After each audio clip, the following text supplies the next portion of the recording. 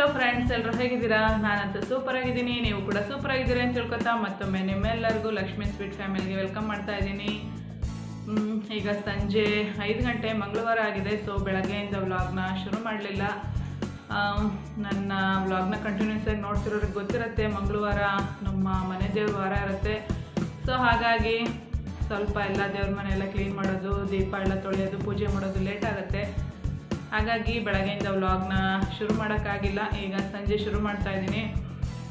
ಧ್ರುವಿ ಕೂಡ ಈಗ ಸ್ವಲ್ಪ ಒನ್ ಅವರ್ ಮುಂಚೆ ಬಂದ. ತುಂಬ ಡಿಫ್ರೆಂಟಾಗಿ ಕಾಣ್ತಾ ಇದ್ದಾನೆ. ಮಾಮೂಲಿ ಕೂದಲಿದ್ದಾಗ ನೋಡೋದಕ್ಕಿಂತನೂ ಈಗ ಮುಡಿ ಕೊಟ್ಮೇಲೆ ನೋಡೋದಕ್ಕಿಂತನೂ ತುಂಬ ಡಿಫ್ರೆನ್ಸಾಗಿ ಕಾಣ್ತಾ ಇದ್ದಾನೆ.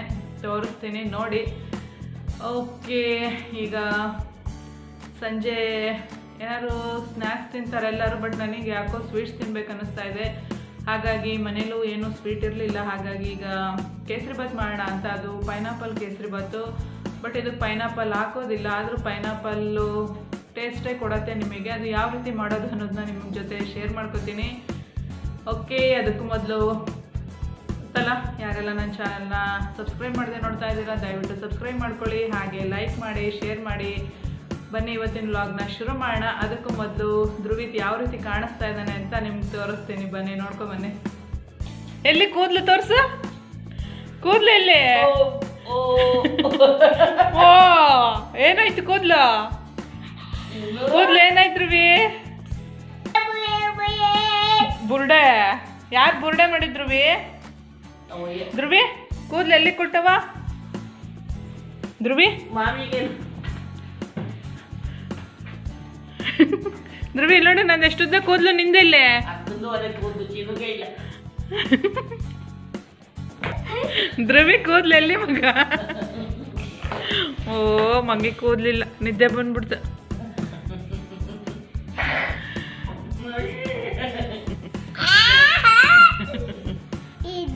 ಇದೆಯಾ ಅಲ್ಲಿ? ಇಲ್ಲ. ಎಲ್ಲಿದೆ? ಇಲ್ಲ ಮೊನ್ನೆ ಕೂದಲು. ಟೋಪಿ ಬೇಕಾ ಬಾಲು ತಗೋಪ್ಪ ಧ್ರುವಿ ಕೂದಲು ಯಾರಿಗೆ ಕೊಟ್ಟೆ ಧ್ರುವಿ ಆ? ತಂಬಿಟ್ಟಾಗ್ಬಿಟ್ಟೈತೆ ಧ್ರುವಿ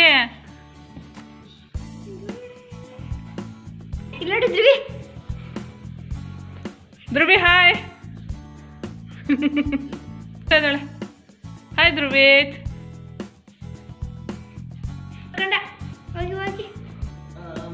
ಯಾರು ಮಲ್ಕೊಂಡ.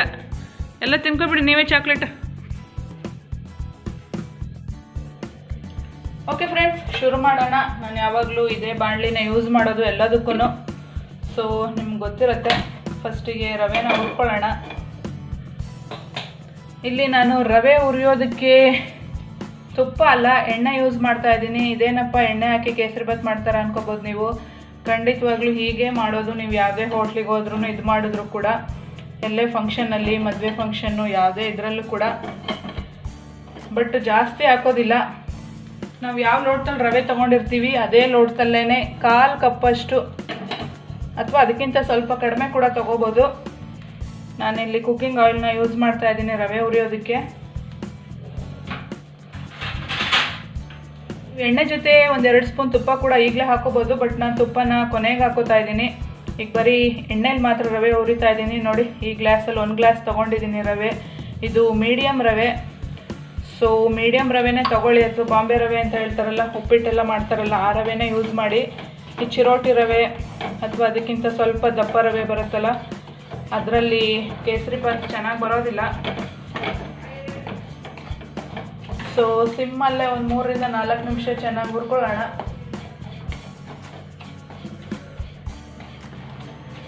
ಸ್ವಲ್ಪ ರವೆ ಬೆಳ್ಳಗಾಗತ್ತೆ, ಅಲ್ಲಿವರೆಗೂ ಹುರ್ಕೊಂಡ್ರೆ ಸಾಕು. ಓಕೆ ಈ ಕಡೆ ರವೆ ಉರಿತಾ ಇದೆ. ಈ ಕಡೆ ಬಿಸಿನೀರು ಬಿಸಿಗೆ ನೀರು.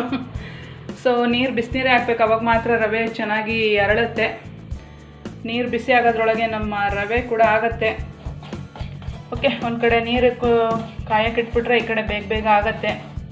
ಉಪ್ಪಿಟ್ಟಿಗೆ ಆಗಲಿ, ಕೇಸರಿ ಬತ್ತಿಗೆ ಆಗಲಿ, ಯಾವಾಗಲೂ ಬಿಸಿನೀರೇ ಹಾಕಬೇಕು. ಅವಾಗ ಮಾತ್ರ ರವೆ ಉದುರುದ್ರಾಗ ಚೆನ್ನಾಗಿ ಬರುತ್ತೆ. ತಣ್ಣೀರು ಹಾಕೋದಕ್ಕೆ ಹೋಗಬೇಡಿ.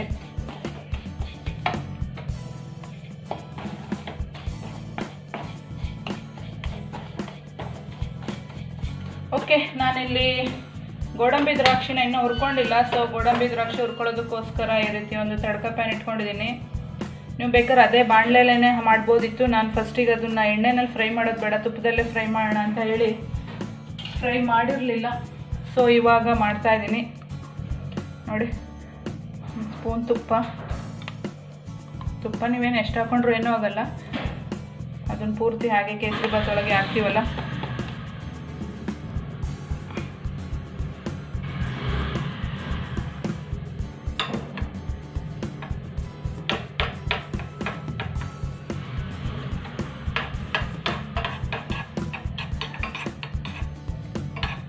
ಸ್ವಲ್ಪ ಕಾಯಿಲೆ ತುಪ್ಪ. ಇದಕ್ಕೆ ಗೋಡಂಬಿ ಹಾಕ್ತಾ ಇದ್ದೀನಿ. ಆ್ಯಕ್ಚುಲಿ ಇಷ್ಟೇ ಇದ್ದಿದ್ದು ಈಗ ಸದ್ಯಕ್ಕೆ ಗೋಡಂಬಿ ನನ್ನ ಹತ್ರ ಖಾಲಿ ಆಗ್ಬಿಟ್ಟಿದೆ. ನಮ್ಮನೇಲಿ ಗೋಡಂಬಿನ ಹಾಗೆ ತಿನ್ಕೊಬಿಡ್ತಾರೆ, ಹಾಗಾಗಿ ಗೋಡಂಬಿ ಉಳಿಯೋದೇ ಇಲ್ಲ.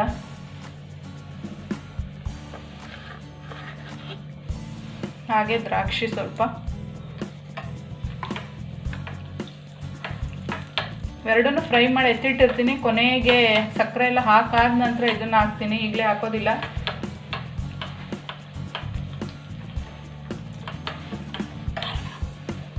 ರವೆ ಕೂಡ ಹುರಿದಿಟ್ಟಿದ್ದೀನಿ. ಅದಕ್ಕಿನ್ನೂ ಬಿಸಿನೀರು ಹಾಕಿಲ್ಲ. ಹಾಕಬೇಕು.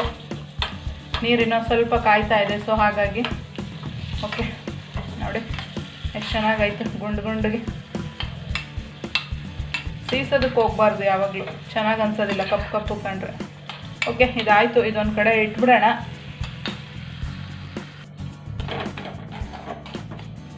ಓಕೆ, ನೋಡಿ, ರವೆ ಆಗಿದೆ ಈಗ ಇದಕ್ಕೆ ನೀರು ಕೂಡ ಕಾದಿದೆ, ಹಾಕೋಣ ಬಿಸಿನೀರು.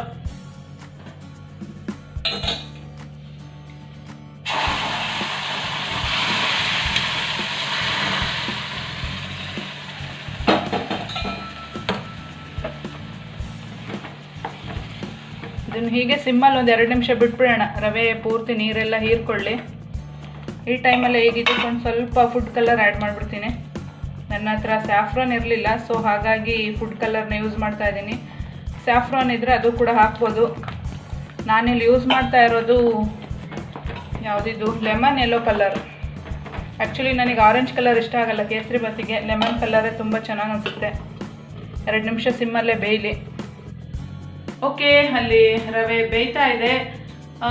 ನಾನು ಹೇಳಿದ್ನಲ್ಲ, ಆಗಲೇ ಪೈನಾಪಲ್ ಹಾಕ್ತೇನೆ. ಪೈನಾಪಲ್ ಟೇಸ್ಟಿಂದು ಕೇಸರಿ ಬತ್ತಿ ಯಾವ ರೀತಿ ಮಾಡೋದು ಅಂತ ಅದಕ್ಕೆ ಇದೇ ಮೇನ್ ರೀಸನ್ನು ನೋಡಿ, ಇದು ಪೈನಾಪಲ್ ಎಸೆನ್ಸ್ ಇದು. ಒಂದು ಎರಡರಿಂದ ಮೂರು ಡ್ರಾಪ್ಸ್ ಹಾಕಿದ್ರೆ ಸಾಕು. ಸೇಮ್ ಅದೇ ಫ್ಲೇವರೇ ಕೊಡುತ್ತೆ ನಿಮಗೆ. ಪೈನಾಪಲ್ ಹಾಕಲೇಬೇಕು ಅಂತೇನಿಲ್ಲ ತುಂಬ ಒಳ್ಳೆ ಪರಿಮಳ ಇದೆ ಇದು. ನೀವು ಒಂದ್ಸತಿ ಈ ರೀತಿ ಪೈನಾಪಲ್ ಎಸೆನ್ಸ್ನ ಯೂಸ್ ಮಾಡಿ ಮಾಡಿ ಸೇಮ್ ಪೈನಾಪಲ್ ಕೇಸರಿ ಬತ್ತೆ.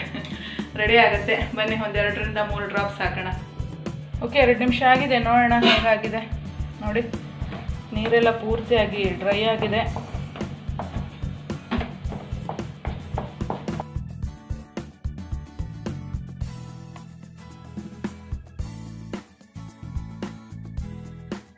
ಯಾವ ಕಪ್ಪಲ್ಲಿ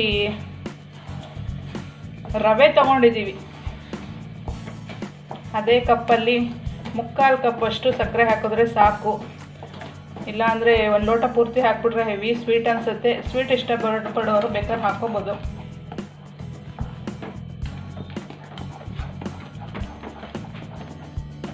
ಈಗ ರವೆಲಿರೋ ನೀರು ಕೂಡ ಪೂರ್ತಿಯಾಗಿ ಡ್ರೈ ಆಗಲಿ. ಈ ಟೈಮಲ್ಲಿ ನಾನು ಹೇಳಿದ್ನಲ್ಲ ಪೈನಾಪಲ್ ಹಾಕಿದೆ ಪೈನಾಪಲ್ ಎಸೆನ್ಸ್ ಹೇಗೆ ಮಾಡೋದು ಅಂತ. ಸೊ ನೋಡಿ, ಇದು ತೋರಿಸಿದ್ನಲ್ಲ, ಇದು ಒಂದು ಮೂರರಿಂದ ನಾಲ್ಕು ಡ್ರಾಪ್ ಹಾಕೋಣ, ಒಂದು ಎರಡು ಮೂರು ಸಾಕು. ತುಂಬ ಚೆನ್ನಾಗಿ ಫ್ಲೇವರ್ ಕೊಡುತ್ತಿದ್ದು.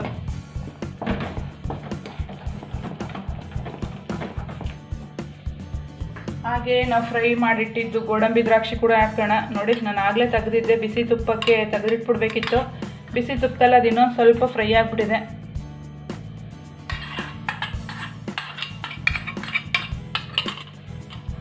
ಪೈನಾಪಲ್ ಎಸೆನ್ಸ್ ಹಾಕ್ತಿದ್ದಂಗೆ ಒಳ್ಳೆ ಪೈನಾಪಲ್ ಫ್ಲೇವರ್ ಬರ್ತಾ ಇದೆ.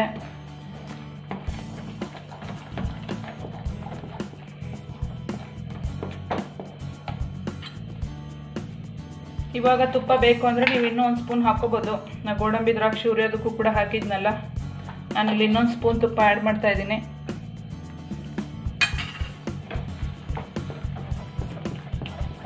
ಸಿಮ್ಮಲ್ಲೇ ಒಂದು ಎರಡು ನಿಮಿಷ ಬೇಯಿಸೋಣ. ಇದು ಪೂರ್ತಿ ತಳ ಬಿಟ್ಟು ಬರುತ್ತೆ ಅಲ್ಲಿವರೆಗೂ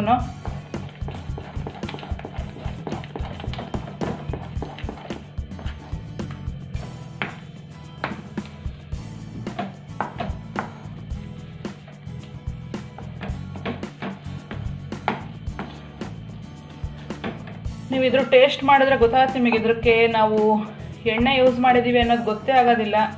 ಅಷ್ಟು ಚೆನ್ನಾಗಿರುತ್ತೆ ಫ್ಲೇವರು ಕೂಡ, ಹಾಗೆ ತಿಂದರೂ ಕೂಡ.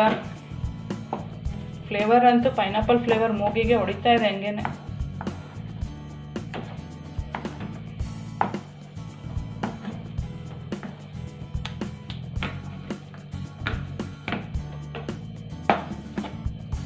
ನೋಡಿ, ಎಲ್ಲ ತಳ ಎಲ್ಲ ಬಿಟ್ಕೊಂಡು ಬರ್ತಾ ಇದೆ ನೀಟಾಗಿ.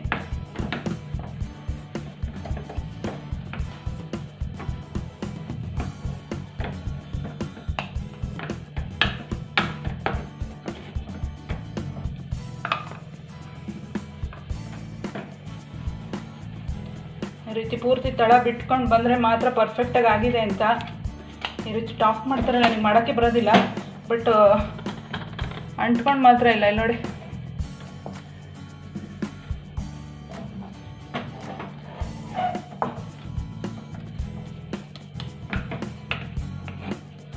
Okay pineapple kesari bath ready ಆಯಿತು.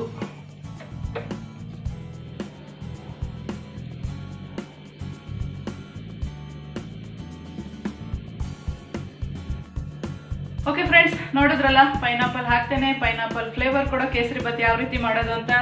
ತುಂಬಾನೇ ಚೆನ್ನಾಗಿದೆ. ನಿಜವಾಗ್ಲೂ ಪೈನಾಪಲ್ ಫ್ಲೇವರೇ ಬರ್ತಾ ಇದೆ. ಖಂಡಿತವಾಗ್ಲೂ ನೀವೊಂದ್ಸರಿ ಟ್ರೈ ಮಾಡಿ.